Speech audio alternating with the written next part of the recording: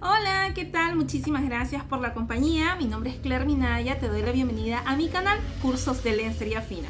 Si esta es la primera vez que nos visitas, bueno, te comento que aquí vas a encontrar diversos temas relacionados a este rubro, ya sea acerca de confección, de ropa interior, de lencería o también de materiales, ¿no? Tipo de máquina para confeccionar este tipo de prenda, avíos, textiles, aguja, hilo y otros modelos en donde enseño el paso a paso del armado y acabados de confección que sé que te van a interesar Así es que desde ya te invito a ver los demás videos publicados anteriormente. Bueno, ahora, el día de hoy, el día de hoy les quiero enseñar a confeccionar una prenda de niño que viene a ser un calzoncillo básico de niño, el cual nosotros hemos llamado Brunito. En la caja de descripciones van a poder encontrar los moldes para que puedan descargarlo y sobre todo las indicaciones para que lo puedan imprimir y se animen a confeccionar esta belleza que es sumamente rápido y práctico. Muy bien, les doy ahora las indicaciones para que lo tengan en cuenta y lo puedan realizar. Ahora sí comencemos el video.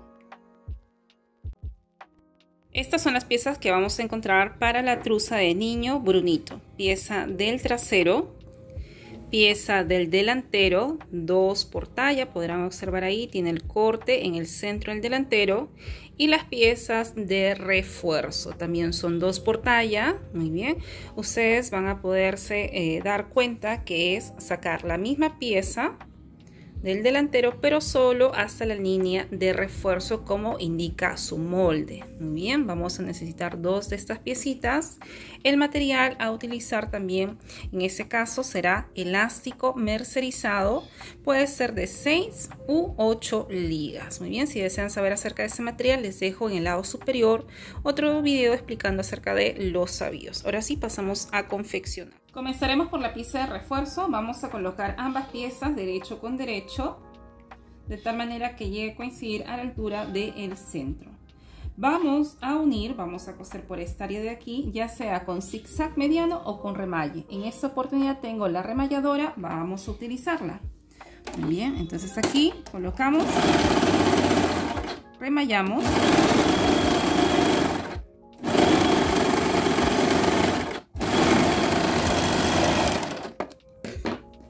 se debe quedar de la siguiente manera. Ubicamos entonces cintura, línea de refuerzo, contorno de piernas y entrepierna. Muy bien, aquí ya tengo formada la pieza de refuerzo del delantero. Paso ahora con las piezas del delantero. Muy bien, ahí está.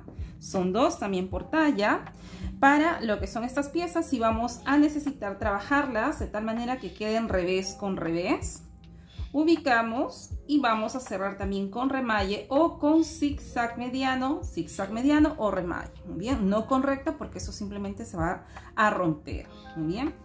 Cerramos por aquí nuevamente a la altura del centro. Ojo, puede ser zigzag mediano o remalle.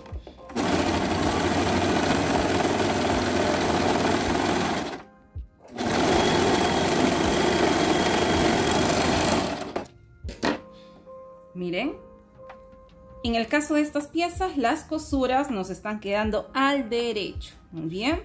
Ahora, vamos a sobreponer la pieza de refuerzo al delantero coincidiendo por cintura, contorno de pierna y entrepierna. Y para ello nos vamos a apoyar de alfileres.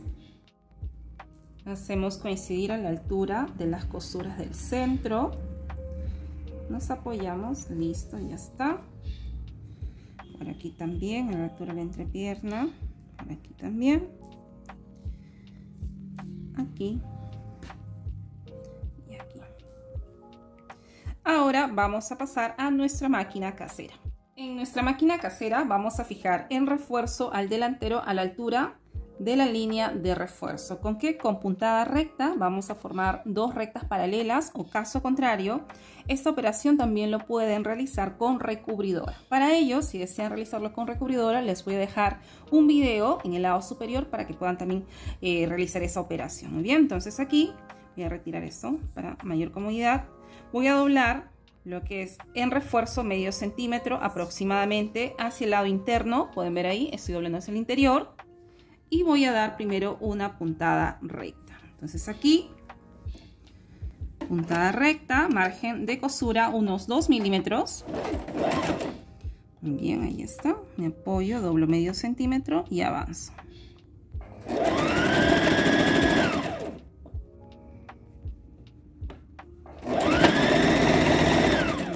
Primera puntadita recta, retiro y al costado de esta primera puntada recta voy a dar otra puntada recta más a medio centímetro. Por eso que les mencionaba que en resultado será rectas paralelas, una al costado del otro. Entonces aquí fijo nuevamente, listo y avanzo.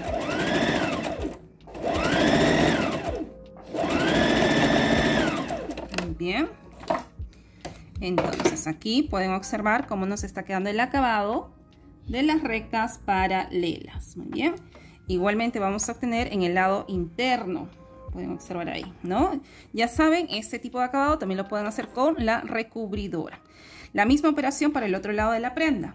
Doblo medio centímetro, es el interior de la prendita, y doblamos, ¿no? En este caso, para comodidad voy a empezar desde el contorno de pierna. Bien, ya que la mayor cantidad de telita se encuentra en este lado para que sea más cómodo y no se encuentre amontonado todo aquí. Entonces aquí fijo, igual, puntada recta. Y lo siempre afuera para que puedan avanzar y no se les atraque.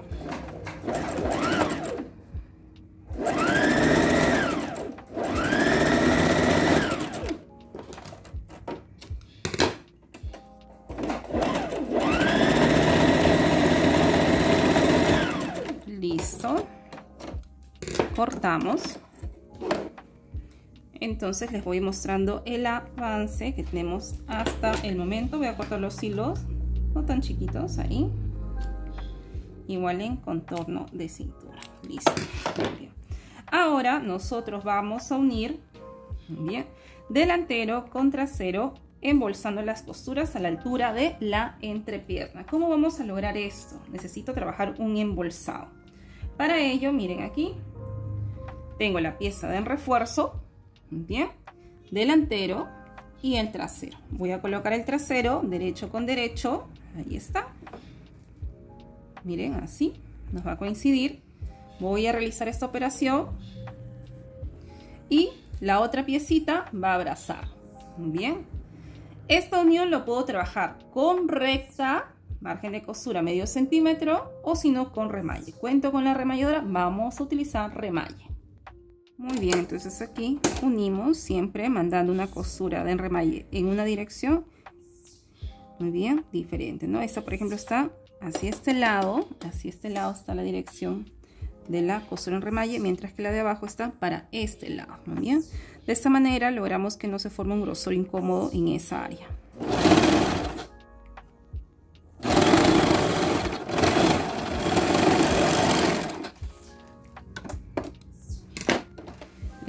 Entonces cómo va a quedar volteamos nuestra prendita al derecho y ya tenemos todo unido. Les muestro por aquí. Pieza del delantero unido y pieza por el interior. Muy bien. Completamente limpio. Nos está quedando lo que viene a ser nuestra prendita porque las costuras también nos habían quedado hacia el interior. Muy bien ahí está. Ahora también vamos a cerrar costados. Ambos costados los vamos a cerrar, ya sea con zigzag mediano o con remalle. Por favor, no estoy indicando cerrar costados con recta, eso simplemente se va a romper. Por más que suelten la tensión del hilo, simplemente eso se rompe, muy bien. No es el tipo de acabado que nosotros realizamos. Entonces, pasamos a la remalladora para cerrar costados en esta oportunidad, ya que cuento con la máquina.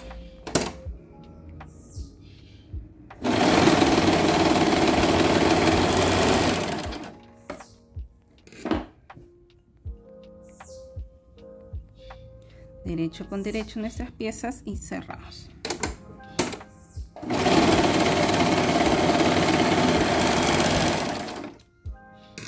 Volteamos nuestra prendita al derecho y aquí ya tenemos prácticamente nuestra prenda ya se encuentra armada. ¿Qué nos toca ahora? Nos toca elasticar la prenda. Para ello haremos uso de elástico mercerizado en esta oportunidad de 8 ligas. También puede ser un grosor de 6 eh, ligas. Muy bien, liguitas, ya sabemos porque este elástico está formado en su interior por ligas, ¿no? Si desean saber más de esto, hay otro video en el canal donde hablamos acerca de los materiales. Para elasticar el contorno de pierna, muy bien, nos vamos a ubicar en uno de los costados. Aquí, por ejemplo, costura el costado, listo. También puede ser a la altura de la entrepierna. En esta oportunidad haremos costados. Vamos a elegir esto. Ubico, bien, ahí está. Este primer paso del elasticado lo voy a desarrollar con remalle. Caso contrario, lo pueden hacer también con zigzag. El tamaño del zigzag ancho para que abarque todo el ancho del elástico mercerizado. Entonces aquí, línea del costado, yo inicio un centímetro antes. Muy bien, entonces aquí, listo. Bajo y comienzo. ¿Cuánto es lo que voy a estirar para este tipo de prendas? Vamos a estirar, puede ser cuarta o entre la cuarta y la octava. Para ello en nuestra máquina tenemos establecido lo que son las medidas de estiramiento. Acerca de ello, ya saben, es un tema que hemos tratado anteriormente en el canal. Muy bien, entonces aquí ubico entre la cuarta y la octava, una medida comercial ni tan ajustado ni tan suelto y avanzo.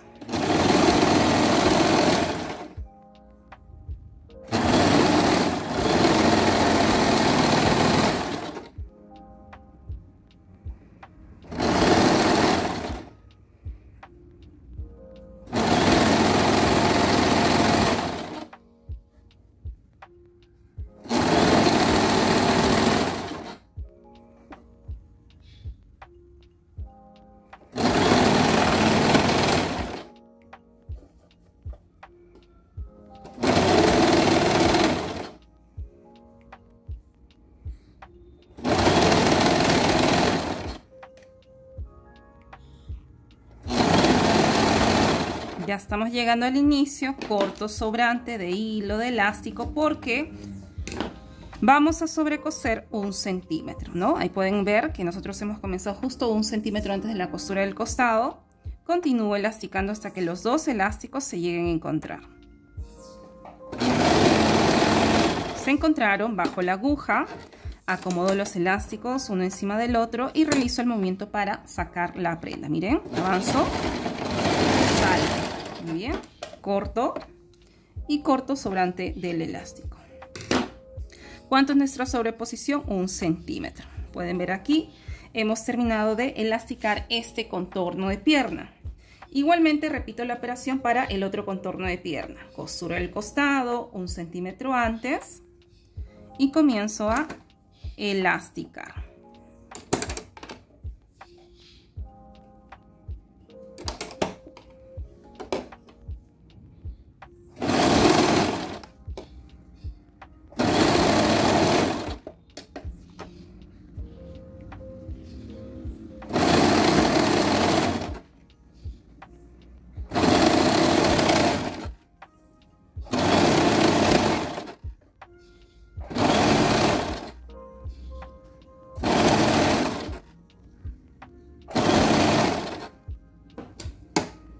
Sobrante porque ya nos estamos acercando al inicio.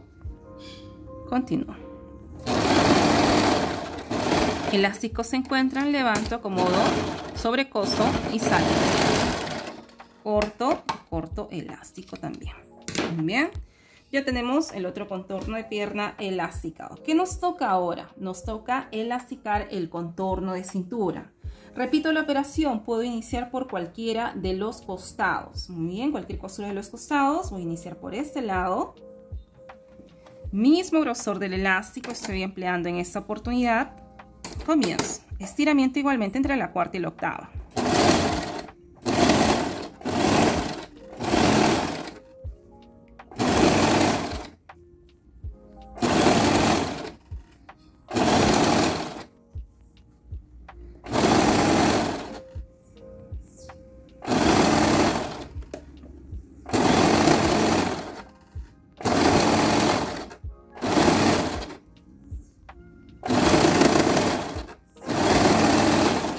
Llegando, corto, listo. Ya estoy llegando a mi inicio un poquito más. Se encontraron, levanto, acomodo, coso y salgo. Bien, ahí está. Y aquí ya tenemos elasticado el contorno de cintura, contorno de piernas respectivamente. Este primer paso de este tipo de elasticado que en algunos lugares lo conocen como elasticado francés invertido o embolsado ha sido realizado solamente el primer paso con remalle. La otra opción de este primer paso también es con puntada zigzag, ancho máximo, largo mediano para que abarque todo el ancho del elástico les permita avanzar con facilidad. Zigzag, ojo, no tricot porque la puntada de tricot va a quedar muy tosca. Bien. Para este segundo paso del el elasticado haremos uso de la recubridora. Si ustedes desean saber cómo graduar el tamaño de puntada, la colocación de los hilos, les invito a ver por favor el video donde hemos explicado anteriormente acerca de este tema, recubridora, muy bien, semi-industrial o recubridora casera. Voy a tener en cuenta la unión de los elásticos de este costado, voy a comenzar en el contorno de cintura, mando el elástico hacia el interior de la prenda y comenzaré ubico en mi máquina, ahí está, un centímetro antes aproximadamente, y comienzo. ¿Cuánto es lo que voy a estirar? Muy bien, porque ustedes observarán aquí no tengo ninguna medida de estiramiento, solamente estiro hasta eliminar pliegues o hasta que mi telita de mi prenda quede plana.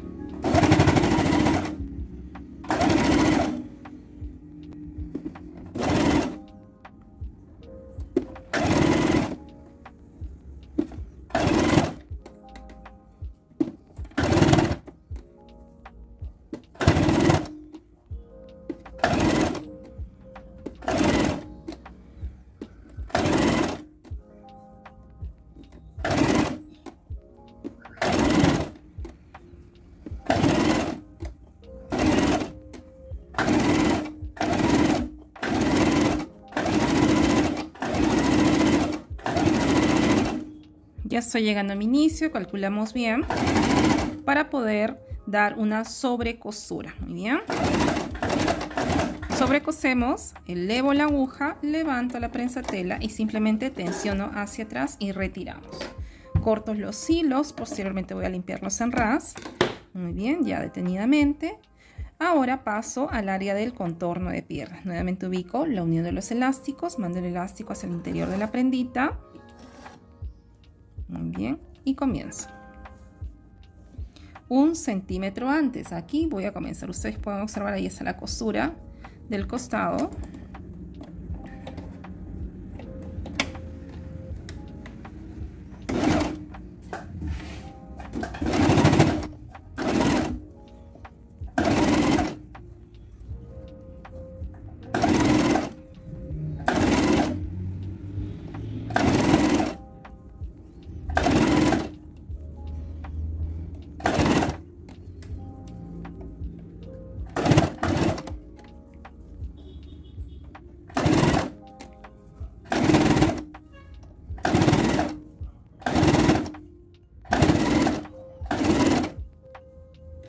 Ya estoy llegando a mi inicio. Sobrecoso y salgo. Elevo la aguja, levanto prensa tela, tensiono hacia atrás y retiro. Es la manera de atracar muy bien en este tipo de máquina. Continuamos también para el otro contorno de pierna.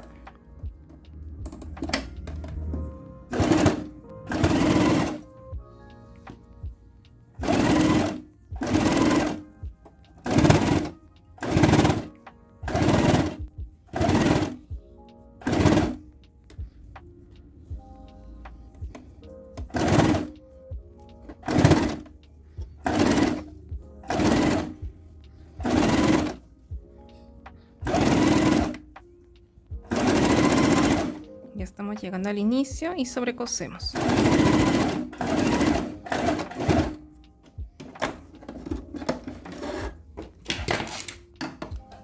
Una vez que hemos terminado de realizar el segundo paso, bien, del francés invertido embolsado en esta oportunidad con recubridora, vamos a limpiar todos los sobrantes de hilo por el lado derecho de la prenda como también por el interior. Vamos a limpiarlos en ras. Aquí tenemos el resultado de la truza para niño modelo Brunito. Podemos observar entonces el acabado. Se realizó el segundo paso con la recubridora. Si ustedes desean realizar este segundo paso con puntada zigzag, también lo hemos empleado anteriormente en el canal. Por favor, les invito a ver videos anteriores. Muy bien, este es el acabado. Y este por el interior. Bien, podemos observar entonces, ha quedado completamente limpio en el lado interno, las costuras escondidas. Ahí está, miren qué bonito ha quedado. Nuestro modelo de truza para niño Brunito. Anímate a confeccionar esta prendita, miren qué curiosa. Si están pensando quizás confeccionar algo para el pequeñín de la casa, motivo de regalo, algún presente quizás, o simplemente ponerlo en práctica. Muy bien, entonces ya saben, cuentan con los moldes ya disponibles y de ser posible nos pueden compartir a través de videos, imágenes a nuestra cuenta de Instagram. Nos siguen con el mismo nombre, Cursos de Lencería Fina. Si te gustó la confección de este modelito de niño, bueno, te invito a que nos dejes un comentario, suscríbete al canal y sobre todo activa esta campanita que figura aquí. Así es, búscala, búscala, actívala para que de esa manera sepas cuándo es nuestro próximo video. Nos estamos viendo con más información en el siguiente video referente a este rubro. Confección de la. Nos vemos. Chao, chao.